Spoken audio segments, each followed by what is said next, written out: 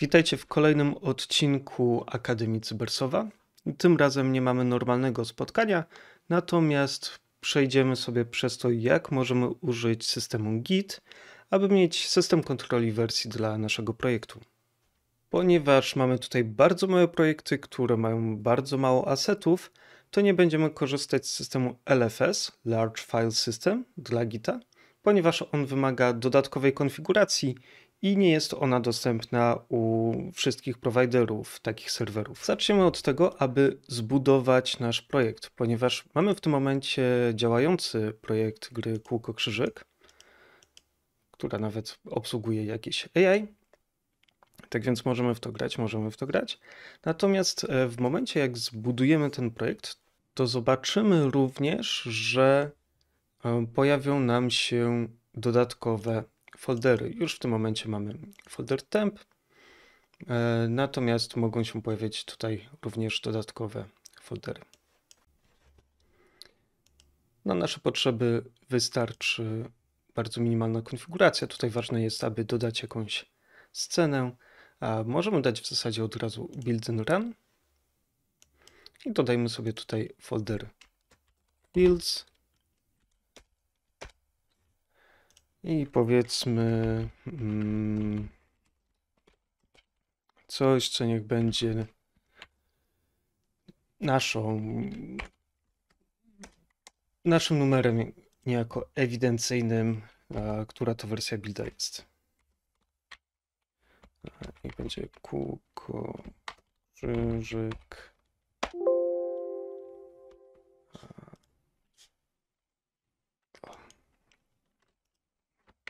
kółko, krzyżyk. I teraz się buduje. Przy okazji zobaczmy, jak długo potrwa budowanie naszej gry, która jest, no cóż, bardzo, bardzo mała. Zatem widzimy, że ona się zbudowała bardzo, bardzo szybko.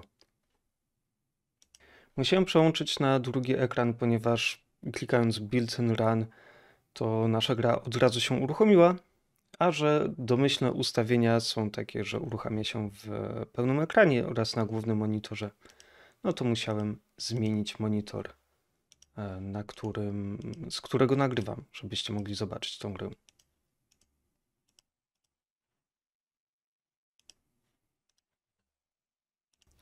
Jeżeli chcemy zmienić to zachowanie, możemy wejść w Player Settings.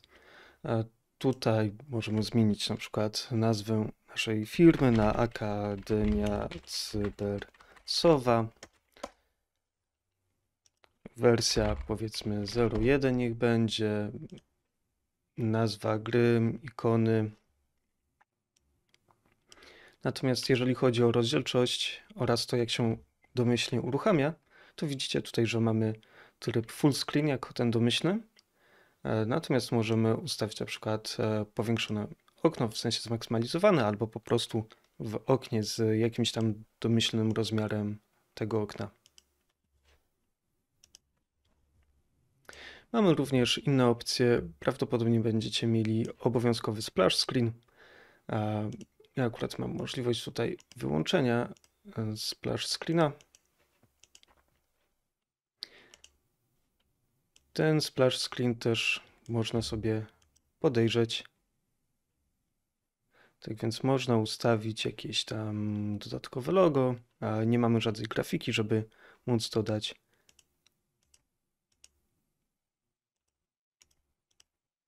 Ale jak widzicie, nadal mamy kilka różnych opcji.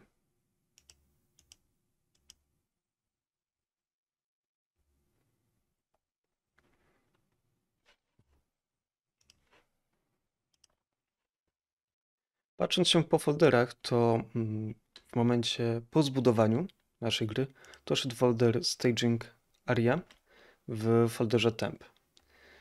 Kiedyś w przeszłości ten folder temp się pojawiał dopiero w momencie budowania. Widzę, że zmienili to i teraz jest e, cały czas.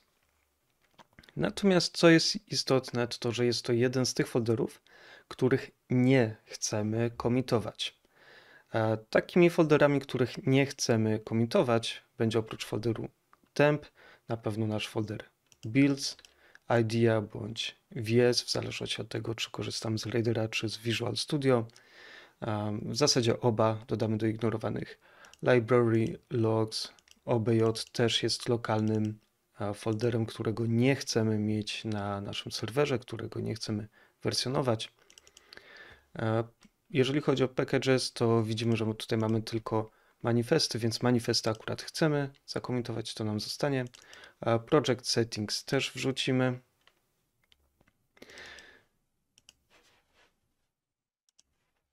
Natomiast e, user settings raczej tutaj zignorujemy. Potencjalnie te e, Project i plik SLN też możemy dodać do ignorowanych. One będą przebudowywane automatycznie i tak przez Unity w momencie uruchomienia projektu, więc możemy je potraktować również jako pliki lokalne. Dla wygody posłużymy się programem, który się nazywa SourceTree.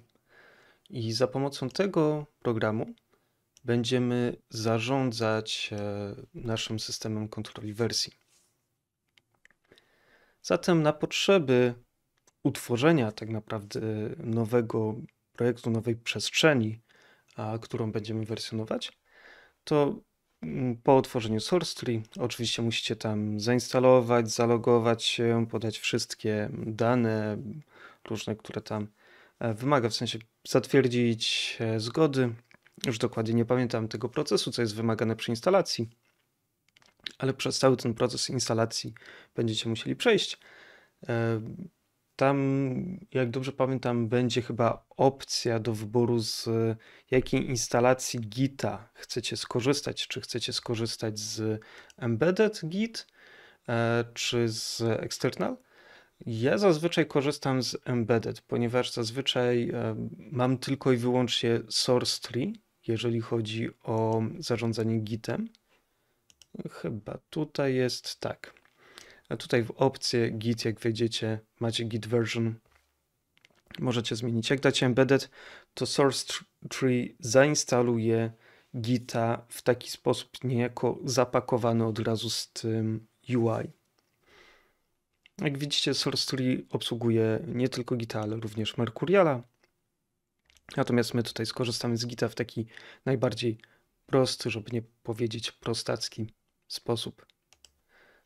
Zatem dobra, dajemy sobie mm, nową zakładkę i dajemy create. Następnie albo wpisujemy ścieżkę, albo klikamy browse.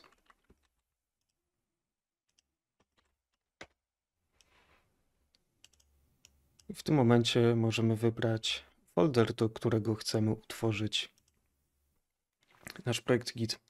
Jest taki zwyczaj, żeby mm, nazwy projektów Git kończyć, w sensie nazwy folderów, a dla repozytorium właściwie Gita kończyć nazwą git albo .git albo coś w ten deseń. Ja niekoniecznie się do tego stosuję, ale tutaj możemy utworzyć sobie repozytorium o nazwie kolkocyzyk.git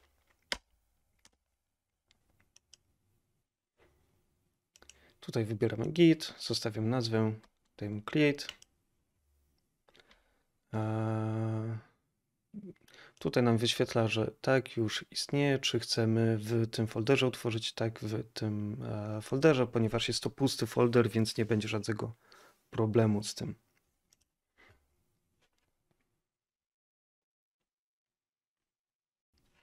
Teraz zamknę nasz projekt tutaj, bo tak naprawdę będę go przenosił w inne miejsce. Zatem jak widzicie tutaj, jak mamy e, source tree, mamy m.in. file status i to jest nasz bieżący status, który wyświetla, e, które pliki zostały zmienione względem e, tak zwanej głowy, czyli ostatniego komita, który jest aktywny. Mamy historię, repozytorium, mamy rozgałęzienia, mamy parę dodatkowych rzeczy. Wracamy na razie do file status, otwieramy w folderze Teraz tak, mamy tutaj e, nasz folder z projektem i tutaj mamy folder Gita. Ja zrobię coś takiego, że po prostu e, przeniosę całą zawartość z jednego miejsca na drugie. E, w tym momencie na dobrą sprawę ten folder mogę usunąć. Teraz jak klikniemy na source tree, po chwili nam odświeży i pokaże, że tak, mamy bardzo dużo różnych plików e, dodanych do projektu, które jeszcze nie są zwersjonowane. E, I tutaj, jeżeli jest znak zapytania przy wpisie, to oznacza, że właśnie repozytorium jeszcze nie rozpoznaje tego pliku jako coś, co już ma w swojej historii, że to jest coś nowego dla niego. I teraz tak, pliki, których nie chcemy wersjonować, a nadal chcemy, aby znajdowały się w naszym folderze tak lokalnie, to możemy tutaj kliknąć prawym przyciskiem myszy i dać ignore. W przypadku um, pliku CS Pro, uh, Proch uh, możemy dać, żeby ignorowało wszystkie pliki, które mają uh, takie rozszerzenie. Podobnie przy Kolko krzyżyk SLN też ignorujemy wszystkie, które mają takie rozszerzenie. Zresztą widzimy, że tutaj od razu nam się pojawił nowy plik o nazwie .gitignore. I ten plik to jest plik tekstowy. Możemy sobie otworzyć go tutaj. Możemy otworzyć za pomocą e, na przykład Sublime Text. To jest normalnie plik tekstowy, który informuje repozytorium, jak ma mm, jakie pliki i foldery ma ignorować. Zatem jeżeli mamy gwiazdka.csproj, to będą wszystkie pliki, które mają to rozszerzenie, podobnie SLN. W przypadku na przykład tych folderów ukrytych, które służą dla naszego IDE, w moim przypadku Rider, w waszym prawdopodobnie Visual Studio, e, to tutaj chcemy cały folder ignorować. Więc prawym ignore i dajemy, żeby ignorowało wszystko poniżej .idea. Przy czym w tym przypadku to jest akurat nazwa folderu, a nie pliku. Podobnie przy naszych buildach. Ktoś może powiedzieć, że to jest zła praktyka, aby trzymać buildy w tym samym folderze co projekt, że powinny być na zewnątrz i nie powinniśmy musieć dodawać tego folderu do ignorowanych. Jest w tym trochę racji, natomiast workflow zawsze jest zależny trochę od naszej sytuacji. W momencie, gdy mamy bardzo dużo drobnych projektów, jak mi się zdarza, co jest wynikiem chociażby tego, e, że robię dużo mm, projektów eksperymentalnych albo na potrzeby edukacyjne, to wtedy nie chcę mi się śledzić i szukać, w jakim folderze mam te buildy. W ten sposób, jak mam wszystko w jednym miejscu, łatwiej jest mi tym zarządzać. Ale faktycznie przy większych projektach raczej bym wolał mieć buildy w zupełnie innym miejscu, e, na przykład na dysku talerzowym, a nie SSD, który, bo talerzowy jest tańszy, jeżeli faktycznie potrzebuję na przykład mieć dużą historię tych buildów. Mm, kolejna rzecz, że bardzo często e, buildy są e, robione w dużych firmach nie tak lokalnie na naszym komputerze, ale mamy ustawiony jakiś TeamCity albo jakiś inny system do tak zwanego Continuous Delivery i on nam automatycznie buduje praktycznie być może nawet co commit albo co, co jakiś tam czas nową wersję projektu. Dobra, wracamy do folderów, które chcemy dodać do ignorowanych. Cało library. Library jest stanowczo lokalnym folderem. Nie chcemy go mieć na repozytorium. Między innymi dlatego, że to ile e, zajmują dane w folderze library, to jest ogrom. Dobra, dalej mamy logi. Logi to też jest coś, co chcemy tylko lokalnie mieć. OBJ. Tutaj głównie debugowe rzeczy to też tylko lokalnie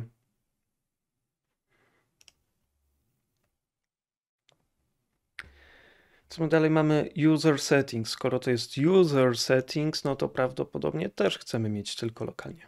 Więc też dodamy do ignorowanych. I w ten oto sposób za pomocą source tree udało nam się utworzyć e, plik gitignore, który powinien spełniać nasze wymagania, który powinien zaspokajać nasze potrzeby, jeżeli chodzi o zarządzanie systemem kontroli wersji. Więc pierwszy commit, jaki zrobimy, to właśnie zakomitujemy sam ten plik gitignore. E, zaznaczam tutaj lewym przyciskiem myszy stage selected. W tym momencie są to zestage'owane, to jest jakby e, osobny, odrębny krok, który istnieje w Gicie, a który nie istnieje na przykład w SVN-ie. Tam różne systemy kontroli wersji trochę e, inaczej podchodzą do wielu różnych kwestii. Akurat w Gicie jest tak, że najpierw stage'ujemy pliki, które chcemy zakomitować, a później wykonujemy commit właśnie z tych zestage'owanych plików. E, zwyczajowo nazwę ten commit init commit, bo to jest pierwszy. Tam plus, że added git ignore file, czy tam configured git ignore file. I klikam commit. Tutaj widzicie, że push changes immediately to i nazwa brancha, której na razie nie ma, jest wyszarzałe. E, wynika to z faktu, że no na razie nie mam żadnych branży. Jak damy commit, to nam utworzy domyślny branch. I domyślny branch nazywa się master. Nie będę tutaj teraz wchodził w to, jak można tworzyć nowe brancze, łączyć je i tak dalej, bo to by była. Bardzo długo by zajęło, gdybyśmy chcieli tak kompleksowo podejść do tematu. Na razie to, co jest istotne, e, to żeby dać Wam e, flow, dzięki któremu będziecie mogli dużo bezpieczniej rozwijać swoje własne projekty. Teraz dam stage all, żeby zestage'ować wszystkie pliki naszego projektu. Tutaj um, complete project complete up to date project. Dajmy commit. Powinno dorzucić to master. Ok. A przepraszam, z tym wyszarzeniem to e, troszeczkę inna kwestia. Tak czy inaczej, jak przejdziemy do history, widzimy, że na teraz nasze repozytorium ma dwa wpisy w historii. Jeden to jest um, commit inicjujący, który dodał plik gitignore. Następny to jest właśnie dodanie naszego projektu. W momencie, jak mamy nasz, e, nasz repozytorium lokalnie tworzone, to możemy z niego korzystać. Wszystko będzie fajnie, będzie działać. Natomiast jest jeden problem. Gdyby doszło do awarii komputera, kradzieży, pożaru, awarii dysku, cokolwiek, to taki sposób przechowywania kopii projektów nas nie chroni przed e, stratą. Taki system nas chroni tylko i wyłącznie przed e, babulami, które możemy popełnić na bieżąco. Czyli możemy po prostu lokalnie cofnąć się do poprzedniej wersji. Dzięki temu, jak będziemy pracować nad projektem miesiąc, dwa, trzy, nie będzie problemu, że zrobimy jakąś zmianę i coś nie działa, nie jesteśmy pewni do końca, co nie działa. Git pozwoli nam wrócić do wcześniejszych zmian i prześledzić, co być może poszło nie tak. Natomiast docelowo chcemy również ochronić się przed awarią sprzętu, albo chociażby ułatwić sobie sytuację, gdy upgrade'ujemy kompa. Zmieniamy kompa, przechodzimy na laptopa albo na odwrót z laptopa na desktopa, na inny sprzęt. Chcemy pobrać nasz projekt i tam kontynuować jego rozwijanie. Albo po prostu chcemy nad projektem pracować w wiele osób. W takim przypadku potrzebujemy skorzystać z zewnętrznego serwera. I wracając tutaj do przeglądarki, jedną z opcji, jakie mamy, to jest e, GitLab, który oferuje nam e, właśnie miejsca na repozytoria za darmo, tam chyba do 10 GB na projekt, co przez pewien czas będzie wystarczające. Jest jeszcze GitHub, jest kilka innych. Każdy ma pewne swoje wymagania i pewne swoje ograniczenia.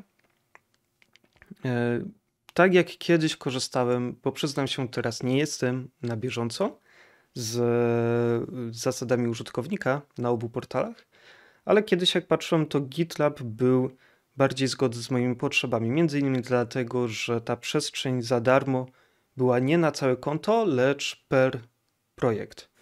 Plus nie było wymagań, na przykład, że projekt musi być open source'owy, ani nic takiego. GitLab pozwala trzymać e, za darmo małe projekty, nawet jeżeli są one komercyjne, zamknięte, niedostępne dla nikogo innego. Więc tutaj możemy utworzyć sobie Create Project. I teraz e, możemy dać utworzenie nowego pustego projektu, ponieważ nie mamy template'a, ani też nie mamy naszego projektu już na innym systemie, żeby migrować. Więc uh, create blank. Tutaj niech będzie kulko, krzyżyk, ksyzyk. I będziemy mieć też adres uh, dostępności. Mm, na razie bez opisu. Mm, tutaj, dobra, nie będę się zagłębiał, bo nie Pamiętam tego na razie jako prywatny, niech będzie. Mm, nie, nie chcę inicjować z readme. Chcę, abym był możliwie pusty. Więc dam create project. Hmm. Hmm. Mamy informację, że nie możemy ani wysyłać, ani ściągać repozytoriów, dopóki nie ustawimy SH. Mm, więc tym zobaczmy, czy będziemy musieli tutaj coś robić. To, co nas najbardziej interesuje, to adres do naszego projektu. Tutaj skopiemy go i przejdziemy na source tree. Tutaj w momencie, jak jesteśmy właśnie na zakładce z naszym kółko krzyżek, jak damy repository, repository setting, to tutaj mamy coś takiego jak remotes. I to są po prostu zdalne serwery, do których łączymy się przez internet. Więc jak damy tutaj add um, i dodajemy path, remote name, e, niech będzie gitlab, kulko, ksyzyk, Hmm. Ok, jak damy.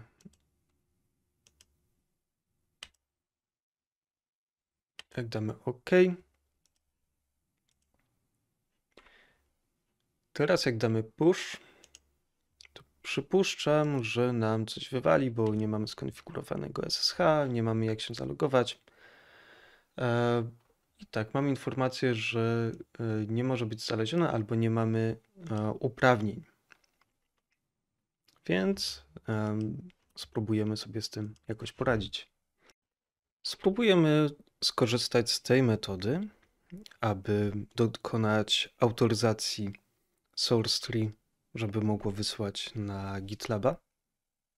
Jak widzimy, potrzebujemy wejść w ustawienia konta.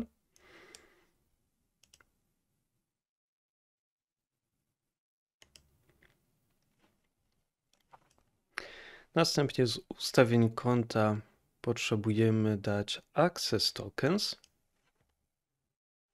Gdzie mamy access tokens? Czy to będzie w account? E,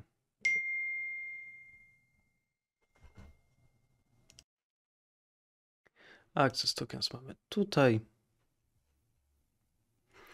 I teraz dodajemy sobie token. Niech będzie, możemy nazwać go GitLab token tak jak mieliśmy w,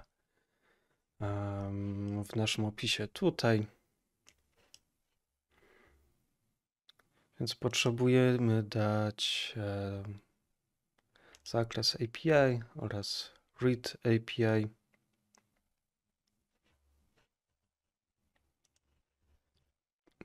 W tym momencie możemy kliknąć Create Personal Access Token. Mhm. Token, który nam się pojawił, skopiowaliśmy. Następnie w GitLabie potrzebujemy dodać osobne konto, poprzez które będziemy łączyć się z repozytorium. Więc możemy tutaj skorzystać z e, nowej zakładki. Jak damy remote, dodajemy konto. Tutaj wybieramy z hosting service, GitLab, preferred protocol HTTPS, uh, authentication poprzez personal access token.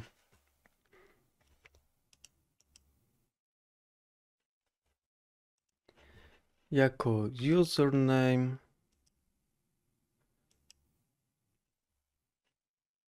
jako username na razie nic nie dajemy, ale dajemy tutaj refresh personal uh, access token. Wyświetla nam się pop-up, gdzie należy podać nazwę użytkownika, więc domyślam się, że chodzi tutaj o, um, konto mailowe. I następnie trzeba podać e, nasz token jako hasło. I w tym momencie wyświetla nam, że tak, autoryzacja zakończona powodzeniem. Klikamy OK. I możemy wybrać nasze konto.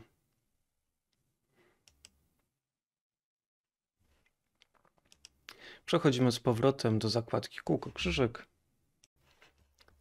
Tutaj wracamy do Repository, Repository Settings. Mamy ustawione już w naszych remote'ach adres, więc wystarczy, że dokonamy autoryzacji.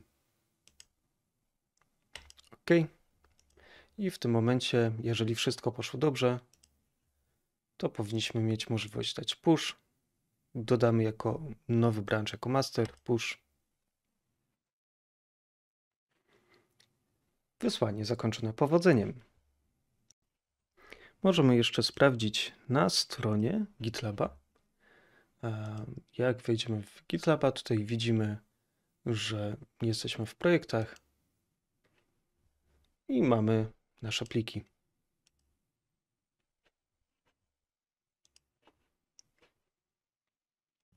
Z Gita możemy też korzystać za pomocą wiersza poleceń. I część tutoriali właśnie tak opisuje jego użycie. Ja nie będę z tego korzystać, bo szczerze powiedziawszy nie chcę mi się pamiętać niuansów. Natomiast ważne jest to, abyście wiedzieli, że coś takiego jest, ponieważ niektóre komendy są dostępne tylko i wyłącznie z poziomu wiersza poleceń. Tak, więc w source tutaj jak mamy actions, mamy coś takiego jak open in terminal. To jest o tyle wygodne, że od razu nam ustawi nie dość, że nam otworzy terminal, to od razu nam e, jakby w odpowiednim kontekście wszystko ustawi. Mamy pewność, że e, polecenie git będzie rozpoznawane i tak dalej, i tak dalej. No tutaj normalnie możemy korzystać z um, komend um, na przykład ls dla wyświetlenia, jakie mamy foldery. Możemy zmieniać to, w którym miejscu jesteśmy. Ogólnie polecenia Git zaczynają się od tego, że odwołujemy się do programu Git. Później mamy takie rzeczy jak na przykład init, bear, shared. Nie jestem pewien, czy to dokładnie tak było, ale ogólnie init to było dla tworzenia nowego folderu. To, co będzie ważne, to polecenie reset ponieważ polecenia reset nie ma dostępnego właśnie z poziomu UI. I przy poleceniu reset wyróżniamy e, coś takiego jak hard reset, czyli cofnięcie się o kilka kroków w tył, które usuwa nam lokalne pliki, tak aby e, stan repozytorium niejako był na czysto, tak jak e, miało to miejsce wcześniej. Jest też coś takiego jak soft i wtedy tak cofamy się kilka kroków wstecz, ale pozostawiając pliki tak jak teraz są, e, mamy, e, jak potrzebujemy się odwołać do na przykład trzech komitów wstecz, jak dobrze pamiętam, to, było, to była instrukcja head daszek 3, to sobie będziecie sprawdzać, e, jak będziecie mieli taką potrzebę już na necie, bo nie będziemy przechodzić teraz przez wszystkie komendy, bo jak mówię, szczerze powiedziawszy, nawet za bardzo nie pamiętam. To też jest coś, co zawsze szukam na bieżąco. W sumie z reset to jeszcze nie jest tak źle, bo reset faktycznie mm, jest dostępny. Mamy na przykład reset current branch to this commit i możemy się bawić też w reverse commit i na takie rzeczy. Natomiast będą takie sytuacje, gdzie coś będziemy potrzebować zrobić i nichuchu nie będzie sposobności, żeby znaleźć tego na UI. Wtedy faktycznie wiersz poleceń będzie koniecznością. Nie jest to straszne, po prostu niewygodne. Zatem to by było na tyle na dzisiaj. Mam nadzieję, że dzięki temu będziecie w stanie utworzyć sobie właśnie repozytoria. Na razie na Git, jak chcecie korzystać z innych systemów wersji, oczywiście jest e, Perforce dostępny do 5 użytkowników za darmo. SVN jako tako jest za darmo, jeżeli sobie sami postawicie serwer. E, możecie skorzystać z programów takich jak Visual SVN, żeby łatwiej Wam było zarządzać tym na Windowsie.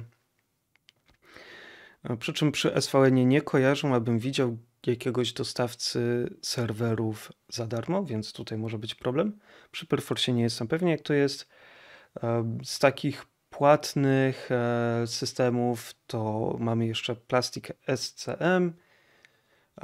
Jak widzieliście, jest Mercurial. Ogólnie bardzo dużo osób też Mercuriala poleca. Osobiście nie mam za bardzo z nim doświadczeń, więc ciężko jest mi się do tego odnieść, ale ponoć bardzo fajna sprawa i ponoć warto się tym zainteresować, więc powtarzam to, co mi inni mówią w tym momencie. To by było tyle na dzisiaj. Dziękuję Wam za wysłuchanie i do zobaczenia. Cześć.